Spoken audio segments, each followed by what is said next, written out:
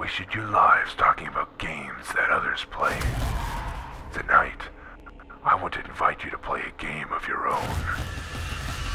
Oh yes, there will be blood. Come join me at Konami's Gamers Night, or.